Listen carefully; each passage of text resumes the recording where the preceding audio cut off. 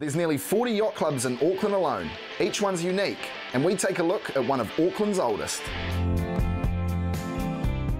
The Yacht Club was uh, formed in 1912 and we had our centenary about four years ago, so we're uh, on our 104 years this year.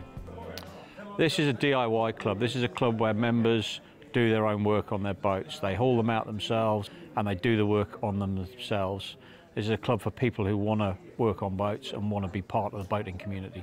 It's, it's a pretty good club, and, and what's really interesting is the lot, yachts and the launches do mix together. We have an annual tug of war every year on uh, Motuihe uh, between the uh, yachties and the launches to see who's probably got the heaviest crew.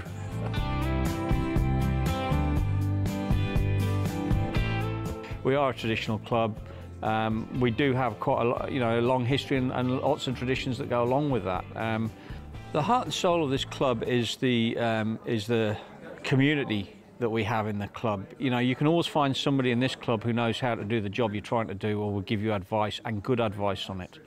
Um, there's, it's a friendly place. People, people actually want to help each other out. People actually want to help people get on the water and go boating.